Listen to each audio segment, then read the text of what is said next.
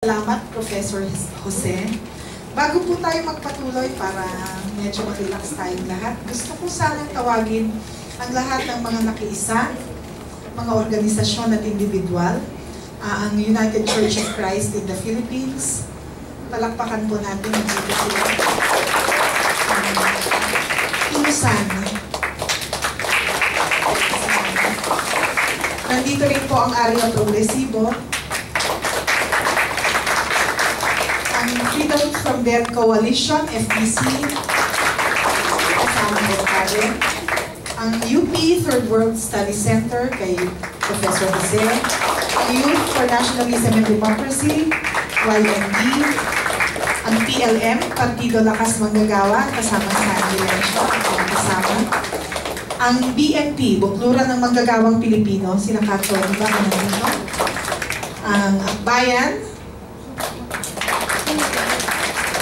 ang Teatrong Bayan. Teatrong Bayan. Ang WPL Makabayan. Ang Sarilaya. Ang kababaihan natin kasama sa pagkibaka. Ang Phil Bensol, Philippine Venezuela Solidarity Association. Lupa. Alpas. Woman Health.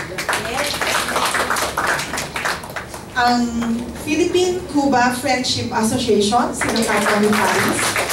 At syempre po, ang isa sa pinamumunuan ni kasamang Dodong ni Menso, ang mahal nating kadodon, ang Philippines-Cuba Friendship and Cultural Association. Napakama ko ang Phil-Cuba. Maraming salamat po sa inyong pagdalo. Isang napakahalagang hapon ito, napakahalagang hapon dahil gusto nating ipakita ang ating pagmamahal sa isang bansa at isang kasama na iniidolo natin, no? Si Komandante Fidel Castro. Ah, gusto ko pong tawagin upang magbasa ng mensahe